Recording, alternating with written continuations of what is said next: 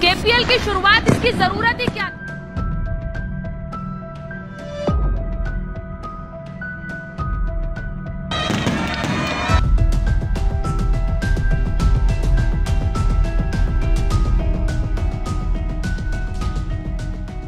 कहते हैं, खुदा किसी को दुश्मन भी दे तो कमजर्फ दुश्मन ना दे। भारत ना सिर्फ़ कमजर्फ दुश्मन है बल्कि एक भोंडा दुश्मन भी बनकर सामने आ रहा है। कहता है, और बड़ी खुशी से कहता है, और अक्सर कहता है, कश्मीर उसका अटूट अंग है। लेकिन उन्हीं कश्मीरियों को उसने बाढ़ लगा कर्फ्यू नाफिज करके, बुनियादी सहूलियात से महरूम करके दो सालों से कैद खाने में रखा है। उनकी खसूसी हैसियत ख़त्म कर बैठा है।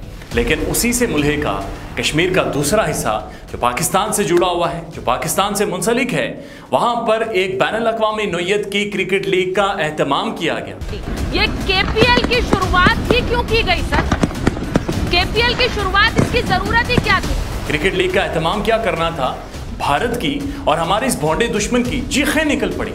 इंटरनेशनल क्रिकेट काउंसिल जा पहुँचा वहाँ पर चीखना शुरू कर दिया। पैसे का धौस जमाया जब पैसा काम ना आया तो धमकियाँ देना शुरू कर दी। यहाँ तक कि इंटरनेशनल क्रिकेट काउंसिल को यह भी कह डाला, अगर कश्मीर के अंदर ये लीग ना बंद करवाई या बैन अवी खिलाड़ियों को ना रोका तो हम पाकिस्तान के साथ बैन अवी मुकाबलों में खेलने से भी इनकार कर देंगे। भाई, आपको क्या मसला है इतना बड़ा? दुश्मनी की आड़ में ये भोंडा दुश्मन ना सिर्फ़ अपने अपनी कमजरफी ज़ाहिर कर रहा है, बल्कि अपना चेहरा भी काला करवा बैठा है। कश्मीर के लोगों ने अपनी एक प्रीमियर लीग बनाई, जिस तरह पंजाब, सिंध, इस्लामाबाद, कराची, कोयटा सब में बनी। भाई, अगर वहाँ पे बनी तो आपको क्या मसला है? उसकी मिसाल ये है कि हालिया ट्वीट में साउथ अफ्रीका के लेजेंड हर्षल गिब्स ने वाजे तौर पर यह कहा कि जनाब, भारतीय जो क्रिकेट बोर्ड है, उन, उसने हर्षल गिब्स पर प्रेशर डाला कि वो कश्मीर प्रीमियर लीग खेलना ना चाहे, और अगर खेलने गया तो फिर धमकी दी गई कि उसे भारत के किसी भी इवेंट में खेलने की इजाज़त नहीं दी जाएगी। हर्षल गिब्स लिखते हैं, भारत क्रिकेट को लेकर अपने सियासी एजेंडे की तकमील के लिए बाकी तमाम खिलाड़ियों और ख़ास तौर पर साउथ अफ्रीका के लेजेंड हर्षल गिब्स को धमकियाँ दे रहा है कि वो कश्मीर प्रीमियर लीग से विड्रॉल कर दे उससे बाहर निकल आए और उस इवेंट का हिस्सा ना बने।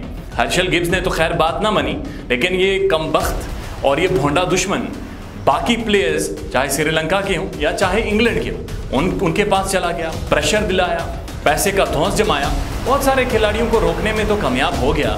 लेकिन इस लीग को ये दवाम ज़रूर बख्शा। इस लीग को एक बैन अवी नोयत की लीग बना दिया और भारत की बौखलाहट की वजह से आज पूरी दुनिया की नज़रें आज़ाद कश्मीर के दारकूमत मुजफ्फराबाद में है, जहाँ पर कश्मीर प्रीमियर लीग का अफ्ताही तकरीब हुई।